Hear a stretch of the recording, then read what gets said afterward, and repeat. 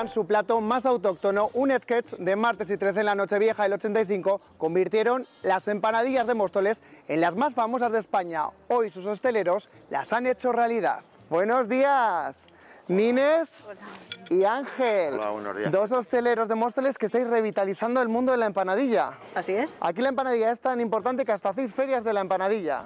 Ya la demanda la gente, sí. Y tú has ganado el concurso de empanadillas de Móstoles. Dos veces consecutivas. Dos veces. Nos vas a presentar las empanadillas con las que tú has ganado. Se llama geisa. La geisa, un nombre muy oriental. Importante, pechuga de pollo, Fritita, ¿no? muy fritita, sí. Y la desmenuzamos bien. Eso es. Y vegetales. Pimiento rojo, Echamos el pimiento rojo, zanahoria, su cebollita ajo y perejil porque somos españoles.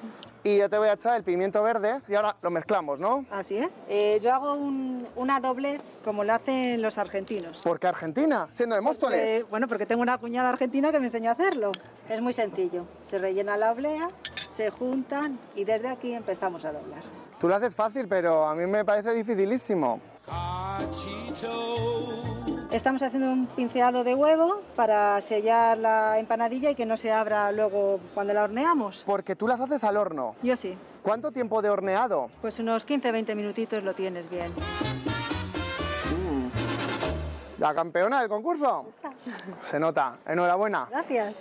Buenos días, Buenos Ángel. días, Pedro. Tú un mostoleño de toda la vida. Sí, además puedo presumir de vivir en la misma casa que nací. Y nos vas a hacer unas empanadillas también con un toque casero, ¿no? A la obradora, que era de la ropa vieja de- del cocido. Era una forma de aprovechar los ingredientes del cocido. Muy nutritivas estas empanadillas porque llevan de todo, Son Ángel. completísimas, llevan todos los sacramentos del cocido, más la verdurita, la patata, el repollo. ¿Cuándo hacía cocido tu madre? Mi madre hacía los miércoles co- cocido y los jueves pues se dedicaba a aprovechar a todo lo que había sobre el cocido haciendo las empanadillas. Vamos a montar la empanadilla. Venga, primero montemos los sacramentos del cocido. Dale, échale ahí, muy bien. La ropa vieja. Tres garbancitos sin desmenuzar. Y el último toque, unos fideitos. Qué rico. Y ahora la plegamos. Y esto a la mostoleña lo vamos a hacer. Con las púas del tenedor. Bueno, Ángel, nos ha quedado la empanadilla del libro de receta. ahora nada más que para la freidora y para degustarla. ¿Cuánto tiempo de Cinco fritura? minutitos. Cinco minutitos. Pedro, pruébalas.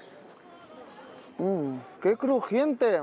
¡Qué rico! ¿Y este vasito? De caldito, Para dar un traguito calentito. siempre templa un poquito. Mm.